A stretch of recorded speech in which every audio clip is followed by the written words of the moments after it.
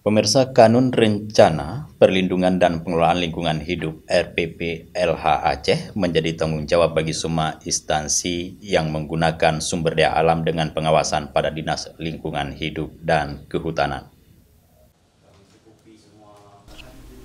Kepala Dinas Lingkungan Hidup dan Kehutanan LHK Provinsi Aceh Ahanan SPMM menegaskan Kanun Rencana Perlindungan dan Pengelolaan Lingkungan Hidup RPPLH yang merupakan inisiasi pemerintah Aceh menjadi tanggung jawab yang menggunakan sumber daya alam.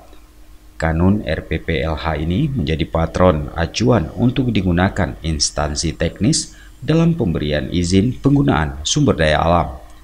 Diharapkan setelah kanun rencana perlindungan dan pengelolaan lingkungan hidup RPPLH ditetapkan bisa diimplementasikan dengan baik oleh semua pihak terkait dari melihat dari sisi tanggung jawab dari kanun ini sendiri.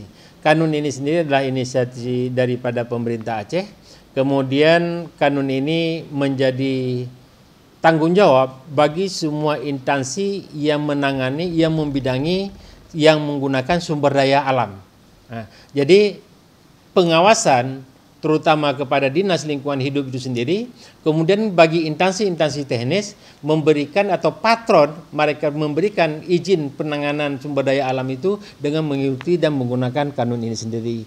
Kami juga berharap dari pemerintah Aceh dalam hal ini dinas lingkungan hidup dan kehutanan kanun ini nanti pada saat ditetapkan bisa diimplementasikan dengan baik dan sama-sama kita bisa menjalankan demi untuk lingkungan itu terjaga dan juga masyarakat juga mendapatkan manfaat dari kanun ini.